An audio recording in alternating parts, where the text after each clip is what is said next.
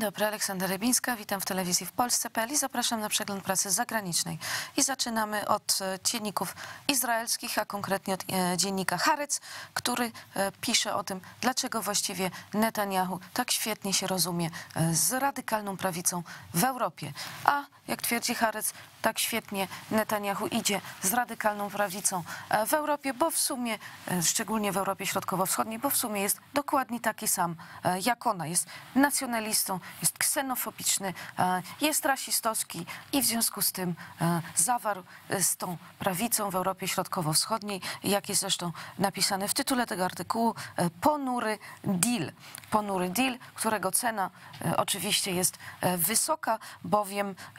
nie ma jak pisze Harec, darmowych obiadów w polityce. No cóż, e, jak e, możemy przeczytać w izraelskim dzienniku, Netanyahu lubi chwalić się e, no, relacjami, które zbudował w Europie Środkowej i Wschodniej, bo te więzi pozwalają mu oczywiście blokować niekorzystne dla Izraela decyzje w sprawie okupacji terenów, terytoriów palestyńskich i w sprawie budowy osiedli między innymi na zachodnim brzegu, brzegu Jordanu. No i to y, jest e, oczywiście e, deal, można powiedzieć, korzystny. Harec tego nie kontestuje, tylko że jest cena do zapłacenia za to. Mm, I te więzi, które Netanyahu e, zbudował, no, za nim idzie e, pewna cena. Oczywiście e, gazeta tutaj mówi o Polsce, o Węgrzech, Wiktora Orbana i wylicz- wylicza wśród tej ceny, która jest do zapłacenia między innymi e, to, że Izrael nie stanął w obronie George'a Sorosza, amerykańskiego filantropa, miliardera węgierskiego pochodzenia, który, e, jak twierdzi Harris, był, jest prześladowany na Węgrzech, Mm, ani oczywiście e, w przypadku Polski ten romans także ma swoją cenę i tą ceną jest e, kwestia e, Holokaustu, wspólna deklaracja polsko-izraelska, która została podpisana przez Netanyahu, podpisana przez premiera Mateusza Morawieckiego e, i która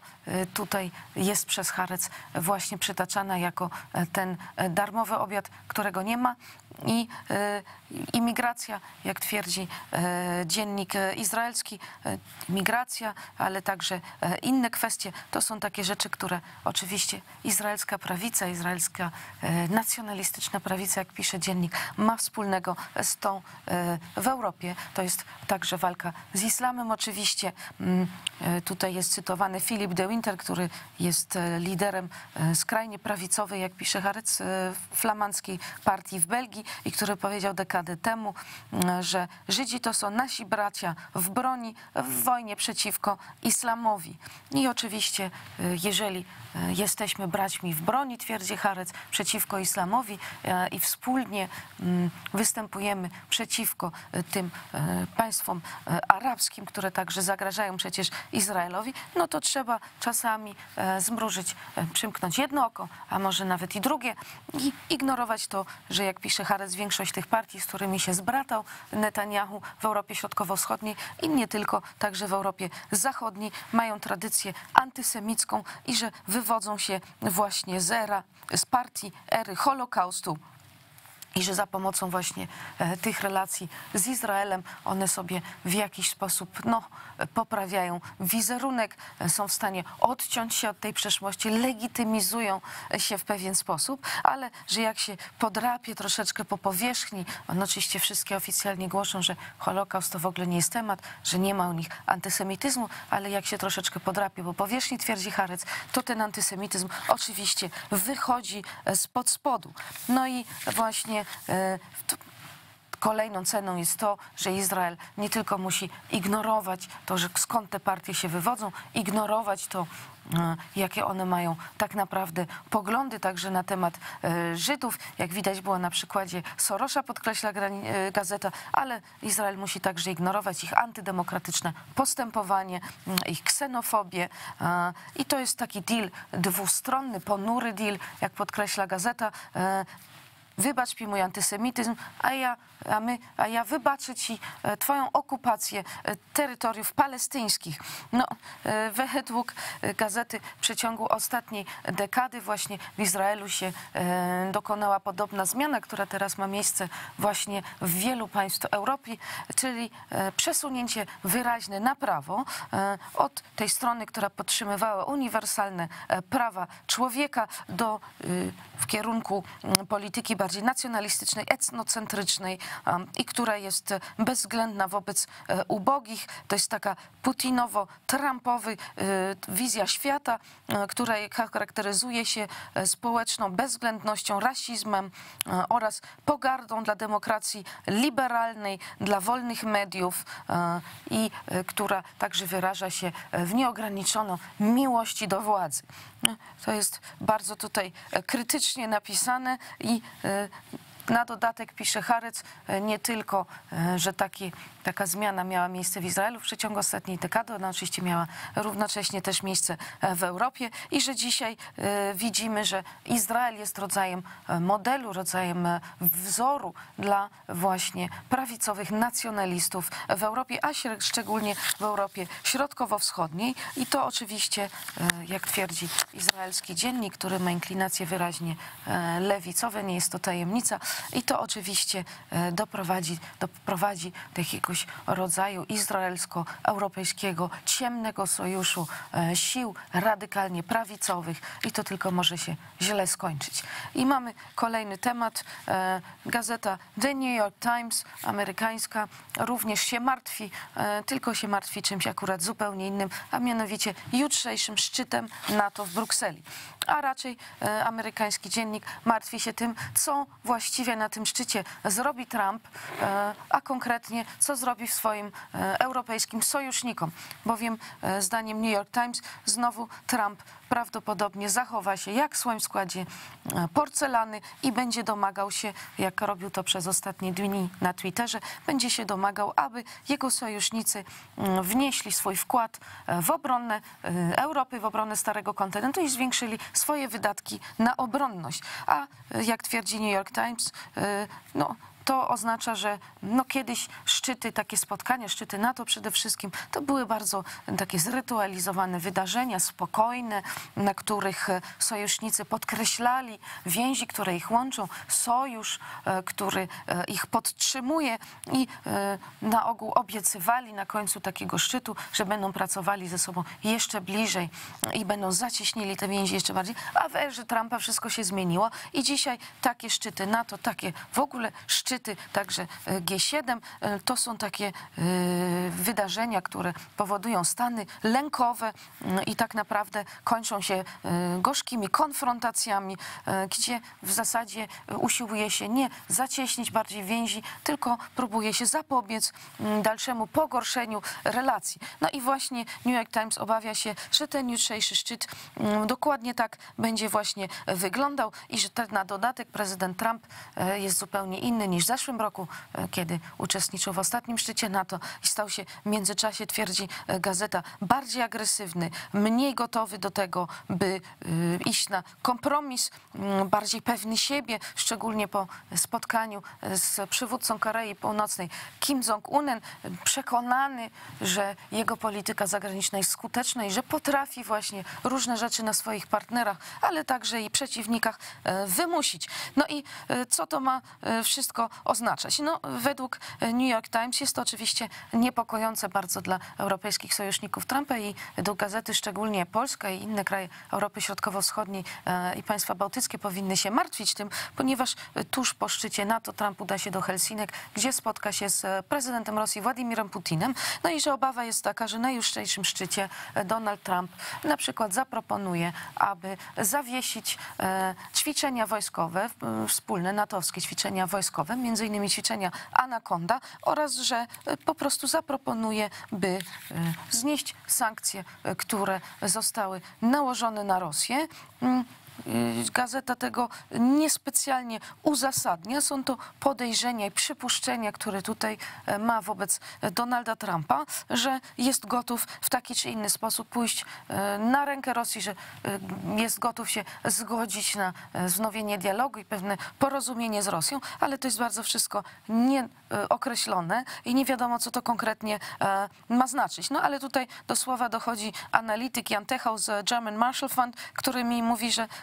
oczywiście państwa europejskie są w bardzo trudnej sytuacji, ponieważ e, z jednej strony są zależne od USA, jeśli chodzi o ich bezpieczeństwo, a z drugiej strony są oburzone zachowaniem Donalda Trumpa i nie wiadomo, e, jak się zachować, jak przeciwstawić się e, Trumpowi. Zresztą tytuł artykułu brzmi Sojusznicy NATO gotowi mm, przeciwstawić się, postawić się Trumpowi, ale nie za mocno. No, y, a więc Gazeta Amerykańska najwyraźniej się spodziewa, mm, że ten opór będzie, ale nie będzie on zbyt duży. I zresztą tutaj e, pisze, czego właściwie oczekuje Trump od swoich sojuszników jutro. No on oczekuje, że zwiększą swoje wydatki obronne do 2% PKB i zresztą większość z nich postanowiła, że tak zrobi, ale jest to e, postanowienie, które zapadło w Newport, na szczycie w Newport w 2014 roku i zakłada, że stanie się tak przez 10 lat, czyli do 2024 roku, ale że Ameryka staje się coraz bardziej niecierpliwa i że najwyraźniej Trump nie chce e, czekać. E, Europejscy sojusznicy NATO wydali, nie, zwiększyli swoje wydatki militarne w ubiegłym roku 87 miliardów, no ale zdaniem Donalda Trumpa to jest zbyt wiele. No i oczywiście tutaj szczególnie na celowniku są Niemcy, które także obiecały, że e, zwiększą swoją, swoje wydatki na obronność do 2%, ale jak na razie podwyższuje tylko do pie- 1,5% e, i to na dodatek e, ten poziom pozostanie do 2024 roku, czyli obietnica 2% nie zostanie przez Niemcy spełniona i to szczególnie przeszkadza USA, więc New York Times spodziewa się, że Niemcy staną się celem Trumpa na jutrzejszym szczycie. No i o największa obawa oczywiście e, to nie tylko to, jak zachowa się Trump podczas szczytu. E, Przypomnijmy, na szczycie e, G7 e, rzucił Angelę Merkel, kanclerz Niemiec, cukierki i powiedział, proszę, masz i nie mów, że nigdy ci niczego nie dawałem. No, I obawa jest, że tym razem także zachowa się Donald Trump niestosownie, pisze New York Times, i że będzie próbował powiązać kwestię obronności z kwestią handlu. Czyli krótko mówiąc, e, bezpieczeństwo w zamian za zmianę polityki handlowej, zniesienie ceł i inne pójście na rękę Stanom Zjednoczonym. I tego szantażu, twierdzi New York Times, najbardziej się e, sojusznicy europejscy na to obawiają, mm, no bo e, rzeczywiście tutaj Ameryka zdecydowanie e, jest silniejsza. Mm, Bez Stanów Zjednoczonych Europa w zasadzie nie ma obronności i nawet jeżeli, ponieważ jest taki cel, żeby ją zbudować i nawet jeżeli zacznie ją budować teraz, to bardzo długo potrwa, zanim ona powstanie i będzie w stanie, mm, no w ogóle y, będzie można myśleć o jakiejś obronie Europy bez USA. I to y, The New York Times na temat jutrzejszego szczytu NATO. I mamy ostatni temat, o którym pisze na swoich stronach internetowych brytyjska telewizja Sky News, a mianowicie e, Theresa May jest w ogromnych e, kłopotach. Brytyjska premier straciła trzeciego ministra w przeciągu 24 godzin. Minister spraw zagranicznych Boris Johnson podał się do dymisji, a podał się do dymisji, ponieważ bardzo nie podoba mu się plan Teresy May, plan Brexitu, który przewiduje miękki Brexit i pozostanie Wielkiej Brytanii e, w dużej mierze e, nie tylko w Unii Celnej z Unią Europejską, ale także e, na wspólnym, w jakiś sposób we wspólnym rynku. No i według Borisa Johnsona, który odchodząc ze stanowiska napisał bardzo krytyczny list do premier May, to e, powoduje, że to spowoduje, że Wielka Brytania tak naprawdę nie wyjdzie z Unii Europejskiej, że pozostanie wasalem Brukseli i że ostatecznie prawo unijne e, mimo wszystko będzie się stosowało mm, do Wielkiej Brytanii i w związku z tym e, nie może być mowy o żadnej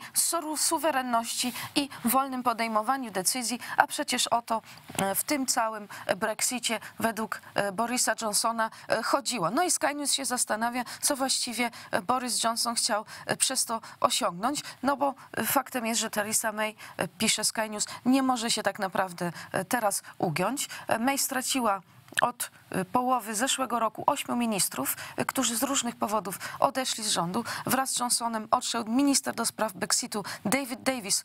i zabierał, zabrał ze sobą swojego zastępcę. Mm, To według Sky News jest o wiele większym ciosem niż odejście e, Borisa Johnsona, ponieważ odejście ministra do spraw Brexitu, który rozpoczął ten proces i miał go wspólnie e, z głównym negocjatorem Unii Europejskiej, Michelem Barnierem, doprowadzić do końca, no to, że on odszedł, oznacza, że rzeczywiście e, rząd Teresy May jest zagrożony. E, Sky News pisze, że należy się spodziewać w tej chwili wotum nieufności przeciwko May, która może przetrwać albo nie może. Krótko mówiąc, e, jak twierdzi Sky News, może się dla niej skończyć albo takim scenariuszem jak dla Johna Majora w 95, albo gorzej takim scenariuszem jak dla Margaret Thatcher w 90 e, roku. No ale mm, jak twierdzi brytyjska telewizja, wielkim zalet, wielką zaletą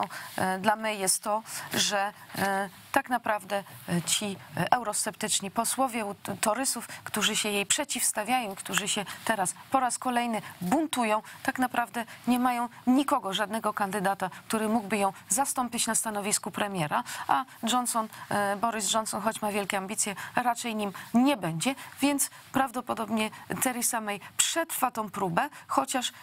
brytyjska partia konserwatywna nigdy nie była tak podzielona, jak jest od chwili negocjacji brexitowych. I to był przegląd prasy zagranicznej na dziś i zapraszam na kolejny jutro.